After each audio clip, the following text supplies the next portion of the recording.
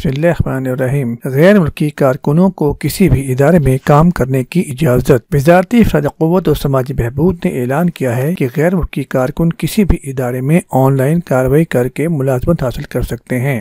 وزارت افراد حکومت نے موجودہ بحرانی حالات کے پیش نظر نجی کمپنیوں اور غیر ملکی کارکنان کے مسائل کے حل کے لیے کئی تجاویز پیش کی ہیں۔ انہوں نے بتایا کہ سعودی لیبر مارکیٹ میں غیر ملکی کارکن ضرورت سے زیادہ ہیں، جبکہ متعدد نجی اداروں کو ان کی خدمات درکار ہیں۔ وزارت نے فریقین کی ضروریات کے پیش نظر آن لائن اجیر کے تحت کاروائی کر کے ایک تجارتی ادارے کو اپنے کارکن دوسرے تجارتی ادارے کے حوالے کرنے کی اجازت دے دی ہے۔ یہ کاروائی آریتن والے والے نظام کے تحت ہوگی۔ وزارت افراد قوت نے توجہ دلائی ہے کہ اس کاروائی کی بدولت متاثرہ تاجر تجارتی اداروں پر افراد قوت حاصل کرنے کے سلسلے میں مالی دباؤ کم ہوگا اور ضرورت مند ادارے مملکت میں موجود غیر ملکی کارکنان کی خدمات سے فائدہ اٹھا سکیں گے۔ وزارت افراد قوت نے توجہ دلائی ہے کہ یہ راتن نظام کے تحت غیر ملکی کارکن کسی دوسرے ادارے کے حوالے کرنے کی کاروائی آن لائن ہوگی۔ اس کے لیے کسی بھی ادارے کو وزارت کے چکر نہیں لگانا پڑیں گے۔ وزارت نے اراطن نظام کی شرائط میں بھی تخفیف کر دی ہے۔ ماضی میں